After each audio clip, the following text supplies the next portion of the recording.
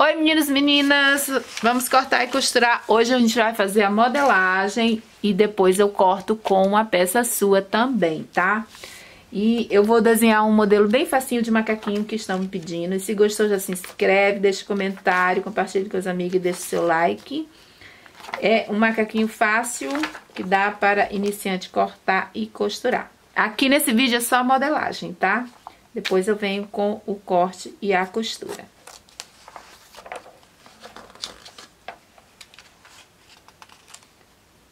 Vou fazer esse que eu já desenhei aqui. E depois eu vou fazer outros também.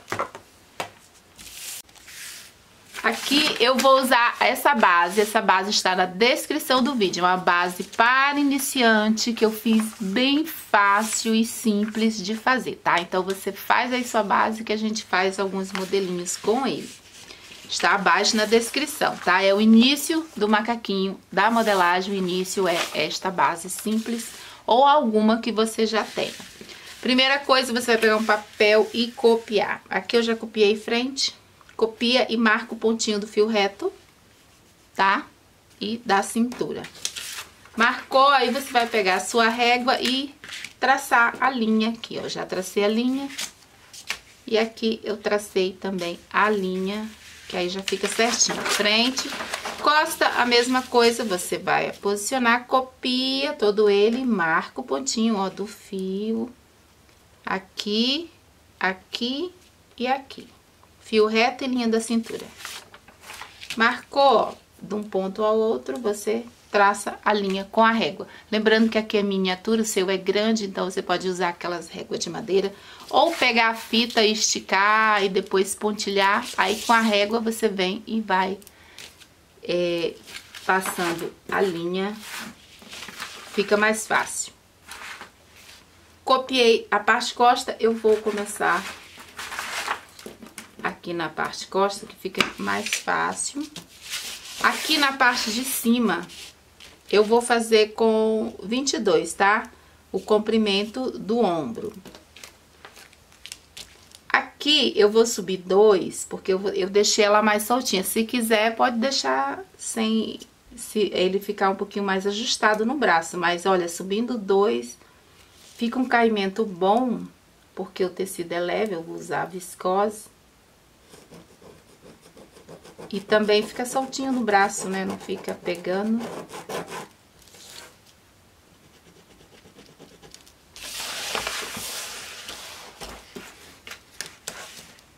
Deixa eu afastar um pouco mais pra cá.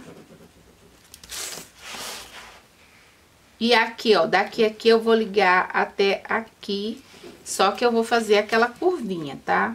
Aqui tinha que ter um pouquinho mais de papel, então eu vou tentar fazer aqui sem... Aqui, ó, na cava, eu vou chegar aqui, mas aí eu vou fazer aquela curva. É bem pequenininho, tá? Só pra chegar aqui na, na lateral. É uma manga japonesa, fica inteiro. A parte costa eu vou colocar uma pence. Agora, é opcional, se você quiser pode deixar totalmente solto, tá? A minha pence. Você pode marcar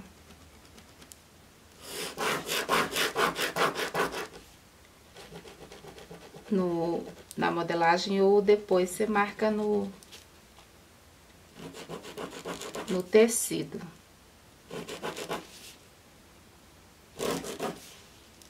É uma pence, não é muito funda não, tá? A pence, eu vou fazer só com três mesmo. Mas pode fazer até com, com duas pences. Ou uma só com uns quatro de profundidade. Porque ele é bem soltinho, mas por que que você tá fazendo pence se ele é soltinho? Porque ele dá uma curvinha nas costas, por isso que eu gosto de fazer a pence, tá bom? E o comprimento, aí você vê em cima do seu ombro até onde você quer. Você quer curto, deixa curto. Quer um pouco mais comprido, deixa mais comprido ou faz calça ou uma pantacur que eu vou fazer a minha, porque o tecido, ele tem bastante tecido, então eu vou aproveitar todo ele. Vou alongar aqui. Como que eu alongo? Antes, copia aqui, ó, na linha do fio reto, você aumenta para poder aumentar a parte que você quer. Se você quer muito ou pouco, aí você vê o, o comprimento. O meu vai ficar uma pantacu, acho que esse aqui dá. Aqui, lembrando que aqui é miniatura, então eu tô só fazendo uma linha imaginária, já que minha manequim não tem perna.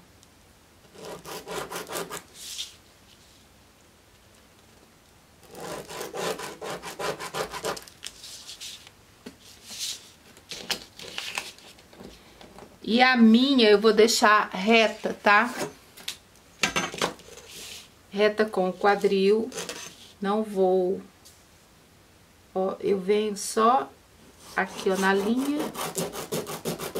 E vou deixar retinho. Se você quiser, pode abrir. Pra mim, eu prefiro assim, mais retinho mesmo. Pode deixar mais aberto, se quiser.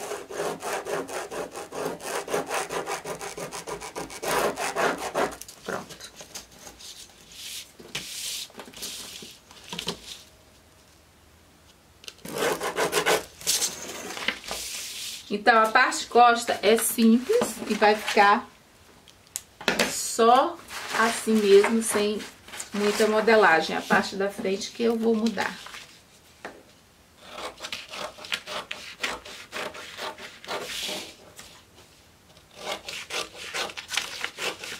Deixa eu aqui.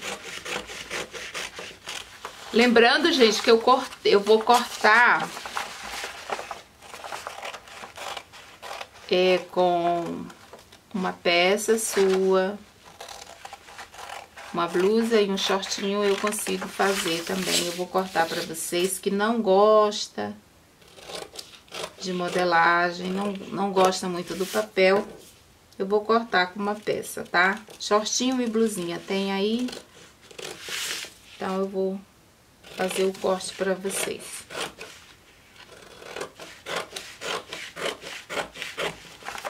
Agora, se vocês, mesmo não gostando de modelagem, pegar, copiar essa base, vocês vão se sentir mais confortável.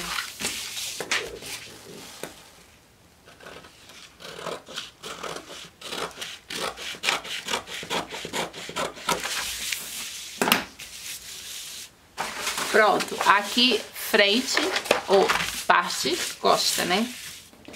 Agora, frente, que eu já copiei aqui. Deixa eu pegar aqui minha régua. Vamos aqui fazer o ombro, que é o mesmo, né? Eu fiz 22, né? Sobe 2 e 22 de ombro.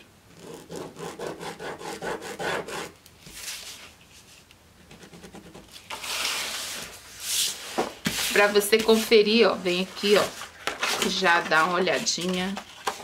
Ombro com ombro, ver se tá batendo aqui. Ó, é bem aqui que eu deixei, hein? Faltou papel, ficou bem por ali mesmo. Aí, traça a linha aqui. Faz a curvinha.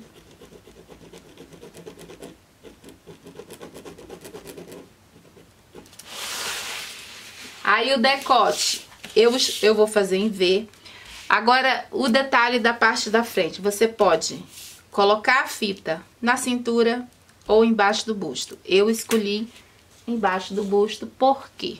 Porque para as meninas maiores, fica o tecido ele fica mais suave, não vai pegar, não vai marcar.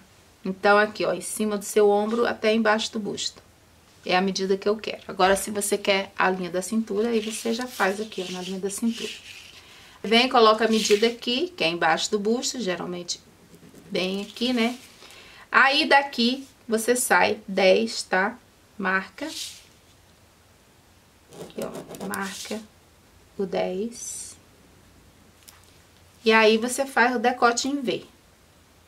Tá? Aqui, ó, no pontinho. Eu, geralmente, eu faço aquela curva, sabe? Quando você entra aqui, um e meio, mais ou menos. Aí, faz essa curva, assim, fica bem melhor daqui, ó, de cima até aqui. É V, mas é um V mais curvadinho. Isso ajuda a dar caimento na parte da frente. Pronto. Aí daqui eu venho até o gancho, mas eu não vou fazer reto, tá? Eu venho aqui, ó, e venho chegando até a curva, tá vendo a curva? Aí eu vou, ó, só levo até lá. Vai pontilha, pontilha até dar certo. Aí aqui sim você passa uma régua só aqui no começo. Pronto. Aí o resto você faz suave.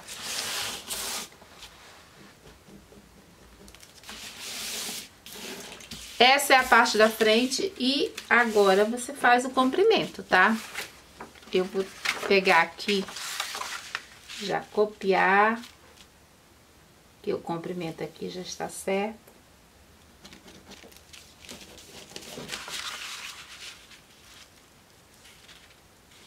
e marco.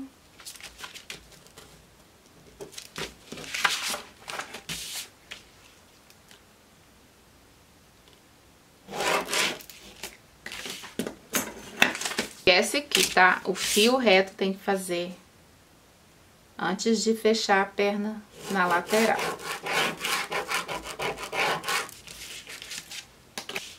Pode deixar mais largo ou no tamanho que segue a barra da, da sua base.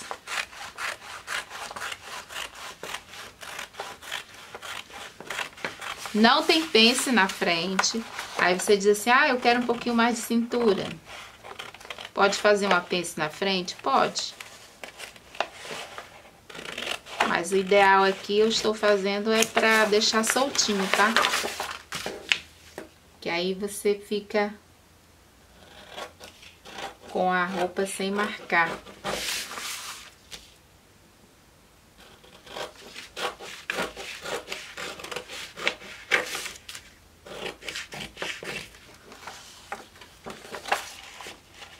E aí, quando eu terminar o, o, de costurar e cortar e costurar, eu vou deixar aí abaixo na descrição, tá?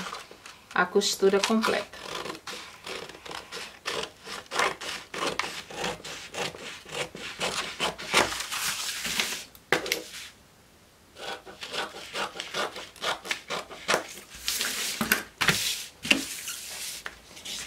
E ó, fica assim a modelagem. Olha que graça que fica. E ele é muito fácil de fazer. E aqui você vai posicionar em cima do tecido dobrado e cortar com um de mais de costura, porque o restante é tudo muito simples e eu explico tudo a montagem na hora de costurar, tá bom? Deixa eu ver o que, que ficou faltando aqui. Ah, aqui você pode fazer revel, se você quiser, tá? Ou faz do jeito que eu vou costurar, que é do modo fácil para iniciante mesmo, tá bom?